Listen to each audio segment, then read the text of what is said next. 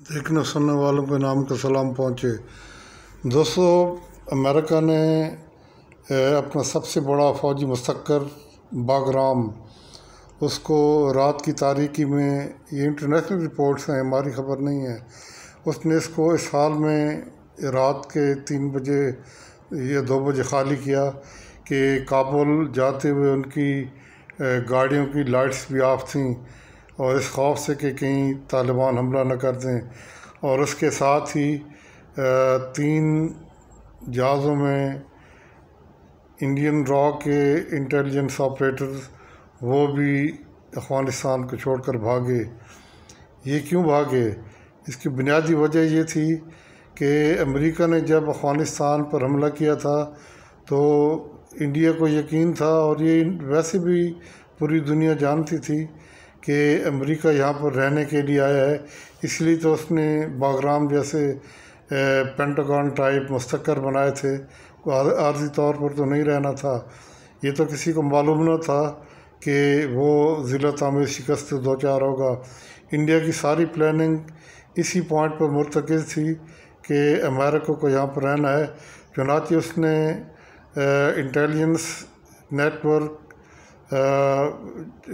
और दूसरी चीज़ें अमरीकी भरोसे पर रखी, उसी के कवर में वो काम करते रहे और दूसरे उनके अफगान हुकूमत थी उनकी चुनाचे ये प्लान उसने बी प्लान से भी सोचा ही नहीं था, क्योंकि उनकी प्रिजम्पशन नहीं थी कि अमेरिका यहाँ से जाएगा।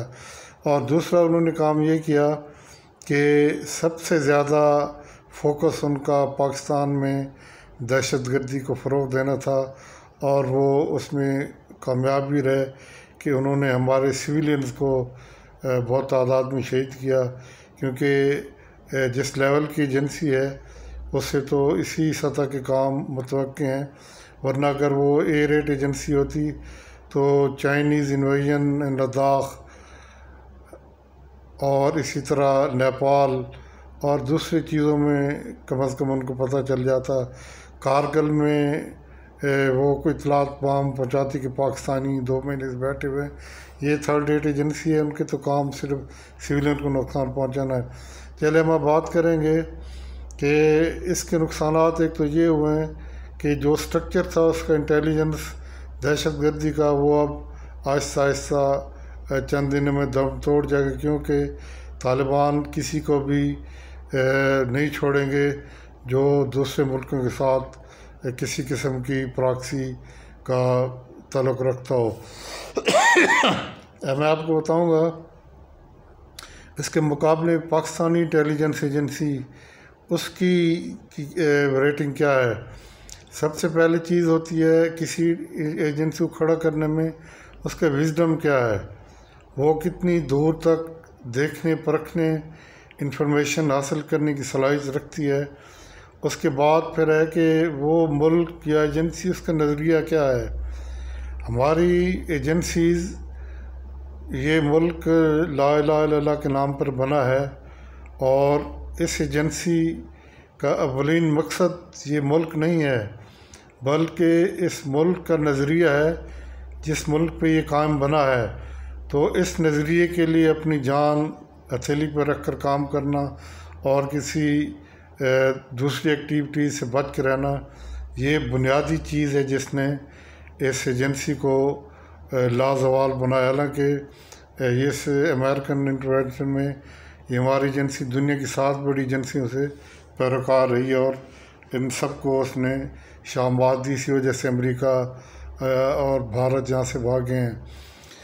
तो दूसरी चीज़ विजडम के बाद कमिटमेंट है कमिटमेंट इस नज़रिए के साथ है। मुल्क तो हमारा है ही। इस मुल्क की वैल्यू कुछ ना होती। अगर ये नज़रिया अल्लाह ताला के कायम करदा पे ना होता तो इसी वजह से ये नाकबिल तस्खीर हुआ है कि एक नज़रिए के साथ जुड़ा। जबकि भारतीयों के साथ ये मसला नहीं वो कहते हैं कि हमारी ज़िंदगी यही है। यही ज़िंदगी हमने यहीं पर मरना बस ख़त्म। तो उनका नज़रिया और अगली ज़िंदगी का है नहीं, जबकि मुसलमान हम ये समझते हैं कि ये एक ट्रांसिट है। इस स्टेज से हमने अगली ऐसी ज़िंदगी में दाखिल होना है जो कभी ख़त्म होने वाली नहीं है। और इसीलिए हम इस ट्रांजिट के लिए अपनी जानें, कुर्बान करते हैं। अल्लाह ताला की राह में इसमें ना तो कोई मफादात की लड़ाई होती है और ना भी मुल्क की भी लड़ाई नहीं है, ये एक नज़रिए की लड़ाई है। और इसी नज़रिए की हदूद को हमने नज़रियाती हदूद भी रखनी है। अगर सिर्फ़ मुल्क की हदूद होती, फिर जोग्राफिया ही होती, कोई नज़रिया ना होता। इसकी हमने नज़रियाती हदूद की हिफाजत करनी है और फिर ये मुल्क की आटोमेटिक हिफाजत होगी। इसी तरीके से हमारे साइंसदानों ने कारहाय नुमाए अंजाम दिए और ये मैं आपको बात बता दूँ, जब तक ये हमारी कौम, ये हमारी अफवाज इस नज़रिए पर कायम रहेंगी, ये नाकबिल शिकस्त रहेंगी।